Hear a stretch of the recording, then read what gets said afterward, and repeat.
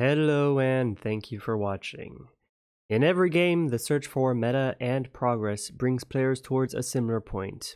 As a person who's developed depression in an attempt to bring an off-meta pick to the forefront, I've decided to bend to the demands of hard mode and cure my depression by developing this click build. It does nothing truly special, it is the run-of-the-mill default setup, but it has seen me pushing through 14 systems in this current experimental branch, and well, now you're seeing 48 hours later, me pushing through system 16. Had I been patient enough for the streams, this would have been a possibility. Whether or not it's worth it, that's up for debate. In any case, what has truly brought this all together and made it work successfully is simply knowledge and experience. This is the cornerstone of your progress in Clicker Heroes 2 as you will learn the systems and multipliers. So I will hopefully impart some knowledge unto you so that you can judge your own builds and hopefully set you on a proper path to progress, whether you choose hard or casual once this goes live. Now, I can't say how effective this would be in the current state of live, there is a huge emphasis on speed in the live version, and I believe the first systems are more difficult in that version than in this, or it's the item scaling that is different. I don't know. Something has made it easier to push forward in the current experimental compared to the current live. So you may not be able to see as much success with this setup if you are attempting to play this with the version that has the Transcendence modes. There's also a rework of Ethereals, which likely changes how builds progress. For now, they're not a massive impact on the overall damage, just two and a half times multiplier. Uh, where I'm at right now, and whether the rework buffs or nerfs them is still up in the air. So without further ado and no more warning labels, let's slap a danger sign on this build's high damage potential and check out what makes it all come together. So first off, looking at the skills themselves, you should find the big clicks and huge clicks combo as the first combo you'll be using. This is the bread and butter of any click build and what carries this thing so far you're going to be using up energy to deal significantly more damage with a single hit. On top of that, there's also a few skills which consume mana to add more damage on top of the combo, which is Big Click and Huge Click. These skills are Mana Crit and Power Surge. The mana consumption of these two is pretty substantial though.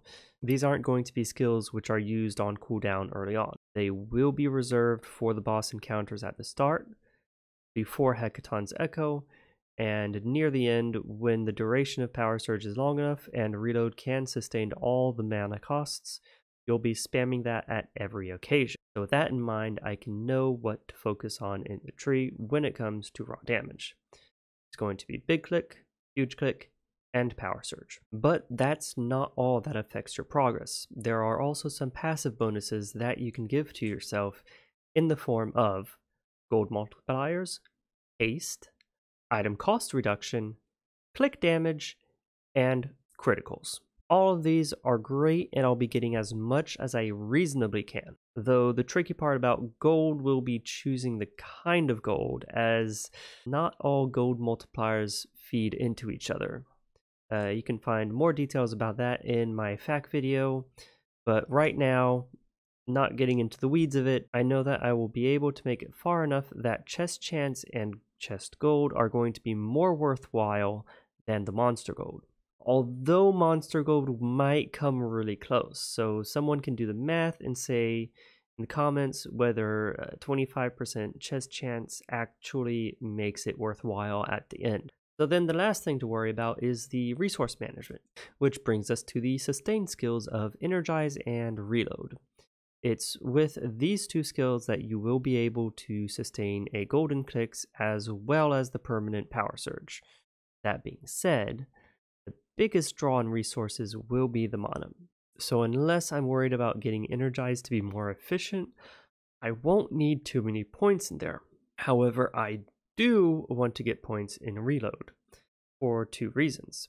Sustain and cooldown reduction, which out of these two nodes gives me a priority of reload for the sustain side of things. Now, don't worry if you run out of mana early on, you'll be reliant on Rufus, the shopkeeper, to fuel your surging addictions, and that is perfectly fine. So, all this gives us a total of 13 different node types to prioritize. Uh, yes, that's right. Don't count item nodes as high priority, even though it is still good to gather them when you can. It's just hard to math the actual value on them properly. I mean, how do you determine whether it's worth picking up one more node, which is 50% more damage, but only when that item is your highest damaging item. So I'm pretty sure it's not worth losing out on 30% more damage from something that is constantly active like huge clicks or big clicks or anything of the sort. Either way, general consensus is that they're worthwhile to keep balanced at the least uh, but no need to go too far out of your way to gather X. Now, since I wasn't sure how the resource management would go when it comes to the energy and mana pools, I also went out of my way to grab a couple of those golden nodes. Not positive if it was necessary, but it likely didn't hurt. Same with the energized node, I picked it up along the way, and actually I don't think I regret it too much. So, now comes the fun part. Boom staring at the tree for hours to decide what is the most optimal thing to do, which I'll save you some time with on the first setup. It's debatable whether this is 100% most optimal, but it is what I used, and so here's why. When reviewing the tree and the nodes available, I found that the largest concentration of each of the vital nodes are in the bottom left, top right, and bottom right quadrants. These areas have a large amount of various node types I'm looking for with minimal amount of subpar nodes on the paths to them. So these are the focuses of my pathing. After this, I needed to review a few key pieces of information gives me my requirements on node count. Reload and power surge get desynced at around 40 points of reload. After the 40 points in reload, the cooldown of reload is shorter than power surge. At this point, you'll need to consider preload combo, which I'll talk about later.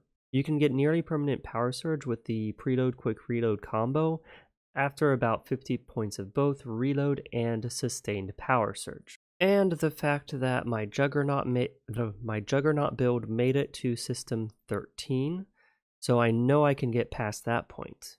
So i can adjust how many reload and power surge nodes i want to get based off of this maximum. Uh, doing some quick math i actually estimated clearing system 15 in the same time my jug build cleared system 13 which you can see right now has happened with that in mind, I wanted to get around 4 reload and sustained power surge nodes from the tree each ascension, so that I reach 40 points by system 10. That is what shaped my tree the most, and as a result, my first tree looked something like this. Yes, yes, I'll add a link in the, the description. I've done a few adjustments since like the very first time I uh, did this tree so it's a bit different than before. But as you can see, there are at least four of each node of reload and sustained power surge. Also, when looking at the overall stats, I reached close to 15 in each important stat. Click, critical, gold received, haste is a bit low. Um, but it does have diminishing returns, besides the chest gold. That was extremely rare on each branch that I did take, and maybe why Monster Gold could have rivaled it uh, this early in the game. So, when I'm making my trees, I like to try and reach at least 15 of each primary stat. Uh, the closer to 20, the better, actually. So I used this tree, and after a few systems, I had reached a decent amount of energy, uh, considering I'm getting five every time. or should I say 50? And so I felt that way when I was near the 450 mark, if I remember correctly. And when I had golden clicks running, all the regen was handled by reload and energize without going too far beyond 200 energy used between the cooldown of reload. I could likely have stopped around 300 to be honest, uh, but this is all new to me. In any case, click builds honestly shouldn't need a substantial amount of energy, but a bit more leeway between the 40% and 60% energy was actually nice for the end when I'm using uh, restraint and release. More on that when I get to the flammable. So I dropped off that path and started to moving towards another area, picking up a few more item mods as well as a few more reload nodes. And you may be wondering when you see that I have really no flammables at this point, why there are none. So these do not affect your overall damage.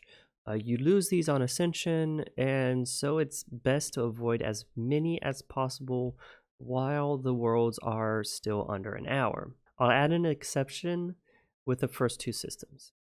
Your stats won't be high enough to carry you through them in such a short time, but at the same time, there aren't a ton which will show their full potential at such an early stage, unless you take a detour towards discharge for example. So no, don't get any flammables until huge click is closer to a 4 second cooldown. At that point when you get huge click discount it will be active full time and so you won't be wasting gold while it's off cooldown.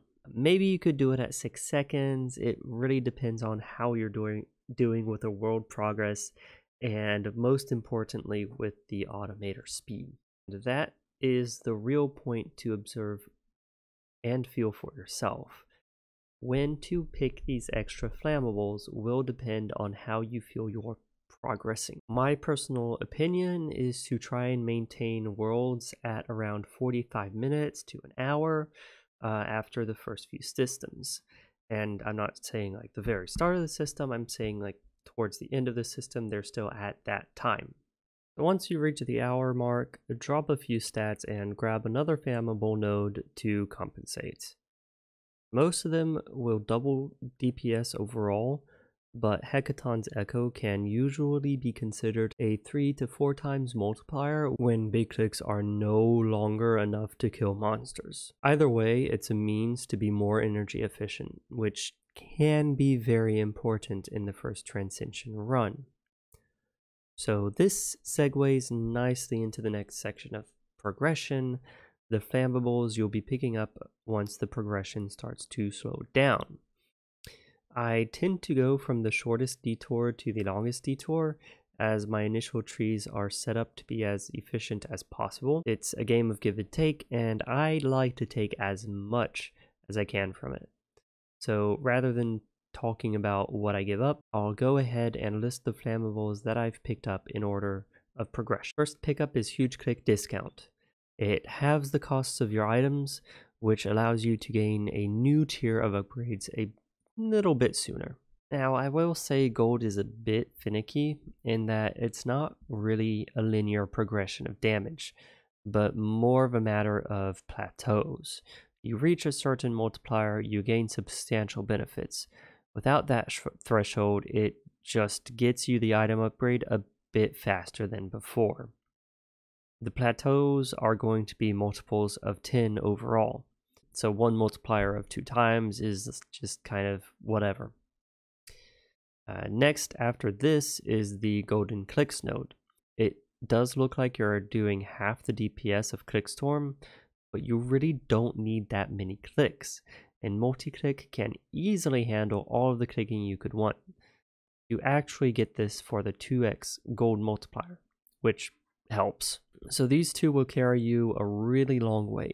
Big clicks will be able to deal a substantial amount of damage and likely be all you need for clearing worlds. And you'll likely reach the point where you have power surge up 50% of the time before needing huge clicks to be the main killer. But once it is, you'll need to add Hecaton's Echo. After this, you'll probably have reached the desync on reload and power surge and need to start looking at the preload combo.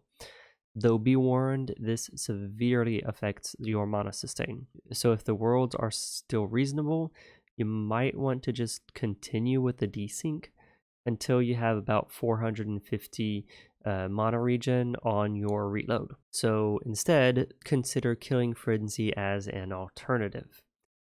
Uh, considering the longest portion of the world clear is spent killing individual monsters in a zone, the buff to your haste will actually cut off 30% of your clear time. I saw my time go from about 45 minutes to 30 minutes the first time I picked it up. Uh, the next one is only recommended when your natural crit chance is relatively low because the bonus is a fixed amount and you can't ever go over 100% crit chance on Cid. And that is critical power surge. This will come at an average of just under 50% increased damage at the end of the run, provided you're near 100% uptime on Power Surge. So, definitely not the strongest thing out there, but it's close and it's something. And by this point, you're likely nearing the end of the run, and each ascension is less and less valuable than the rest.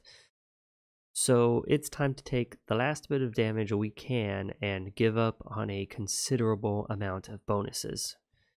In the top left of the tree, there are a few more valuable nodes for us, two of which are going to require optimizing your automator further by adding a couple of greater than 60% stones. Release doubles your damage when you're under 60% energy, and Restraint, which doubles your gold gained when over 40% energy. While you have restraint, you won't want to go below 40% energy. So there's two options. Switch to a recovery page when you go under 40% energy, and in this page you won't be using multi-click, or only use multi-click when above the 60% threshold. You'll also need to add the click gem to the 60% stone so that you deplete the energy fast enough for the release bonus to be worthwhile, due to you actually gain, recovering energy from reload. Now, eventually, you'll want to come up for limitless big clicks and synchrony. It's hard to quantify what these add in damage considering it's going to let you use multi-click more often as well as more big clicks allowing you to line up more big clicks and huge click combos during the Hecaton Echo count. I'd count the combination of these two as a 2x multiplier. Uh, one without the other doesn't give you a ton of benefit because you're still having to deplete your energy probably a bit too fast. So yeah, that's at least seven different trees. I've only given one because I didn't save all the different versions I've gone through. And you know the kicker though? I'm using yet another version of a tree for this new transcension because I don't need as many reload, sustained power surge, mana, or energy nodes now that I've buffed them by a good amount. And I'm going further than that last transcension. So I'll have more of them picked up by the end of it. In any case, Hopefully this knowledge is enough to push you into the correct direction and you can use the template provided to success. Just remember to take the time to really pay attention to how many of each node you're getting and how many white nodes you're spending to reach a single gold node. Oh, right. Uh, I forgot to actually tell you the combo for preload. Uh, so the cooldown on Power Surge and Reload are both pretty long. Doesn't look that long right now because I have so much haste. Um, but what's cool, like really cool early on, is the cooldown reduction on Reload. It affects its own cooldown. So 50% rule, uh, 50% reduced cooldown works with itself to make it shorter and shorter each time. Now, as I have said multiple times, there is a desync that happens when you get to that 50% mark. And at that point, you'll want to switch over to preload, which is actually half the equation. You'll also want quick reload so that the cooldown of your reload skill is now permanently shorter than the power surge skill. So looking at the reload skill, it is an absolute half to the cooldown of any skill used immediately after reload. So this cooldown reduction is not affected by the 80% reduced effect on quick reload. So effectively, you have a means to always cut the cooldown of Power Surge in half as long as you use preload immediately before using Power Surge. So the easiest way to achieve this is to have a page switch activate when there is no more Power Surge, which is what I have right here. This switches to a page which only has reload and Power Surge. Reload will activate off of an always stone, or preload equals zero in this, and then power surge should activate only when preload is greater than zero. Once power surge is activated, go back to your DPS and continue as usual. Now, deeper into your playthrough, after a few transcensions, you won't even need this combination and we'll likely be able to use Reload Rampage instead. Now, that one could probably use a few minutes dedicated to itself, so I won't have time to explain it here. Just keep it in mind for once your power surge duration is longer than the cooldown without any of these reload shenanigans. I'll also do a separate video to go over the automator and what I did to make it work effectively throughout the whole progression of the character. So you can look forward to that coming um, soon. In any case, I really hope that this helps to some extent considering this game's progression. There is really no one size fits all guide without going through every single step of every single transcension as different perks will give you different priorities. I mean, kinetic energy just completely changes your priority from being big clicks, huge clicks to being juggernaut, which Jesus Christ, juggernaut is complicated to set up early on. So take your time, learn the steps, learn the priorities, because I really don't feel like I'm capable of delivering a quality uh, experience of here's like the entire 250 system guide to every step of what you need to do, especially considering this is still a beta game and everything is subject to change. I have no idea what the ethereals are going to be. Whatever. If you've made it this far, just take one more second, click that like button, but mainly thanks for watching and good luck. And maybe check out one of the other videos, subscribe if you haven't, and whatever else people say to do around here. I don't know. Yeah. See ya. To bend the. Oh my god, this sentence is so hard. Brings us to the sustain. Sustain. Item cost. So, when reviewing the tree and the nodes, the, the nodes